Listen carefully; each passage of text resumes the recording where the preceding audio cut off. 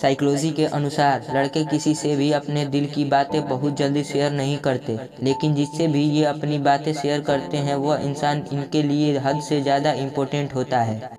Psychology के अनुसार, बहुत ज़्यादा सोने वाली लड़की डायरेक्टली या इनडायरेक्टली किसी तकलीफ़ या दिल पर लगी कोई बात से नाखुश है, और उसी बात को सोचकर वह काफ़ी दुखी है।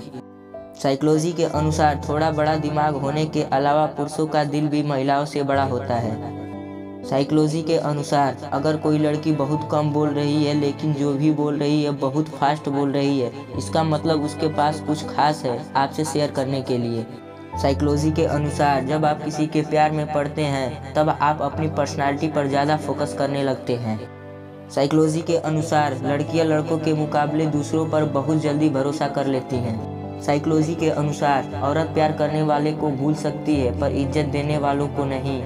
साइकोलॉजी के अनुसार जिनकी आँखें बड़ी बड़ी होती हैं, हम अक्सर उनकी तरफ़ आकर्षित हो जाते हैं।